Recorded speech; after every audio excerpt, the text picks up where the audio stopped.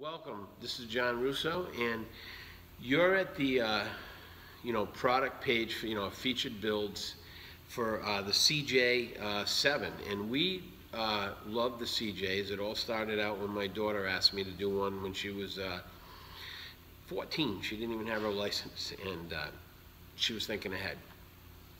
And, you know, started working on that Jeep, and it just turned into a passion with the Jeeps. And uh, so, you know, we're doing complete builds, turnkey.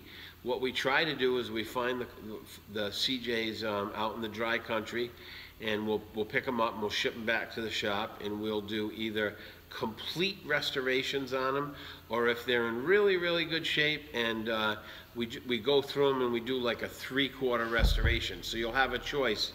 Um, you'll have a choice of um, a three-quarter or a full restoration. Uh, so any questions on the Jeep builds, um, feel free uh, to hit us up. There's going to be some links below this, and you can see some of the previous jobs or jobs that we're doing, currently doing right now on the Jeeps.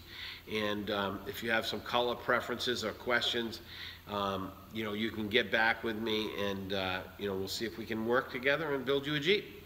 Make it a great day, and it's John Russo from Palm Beach Custom.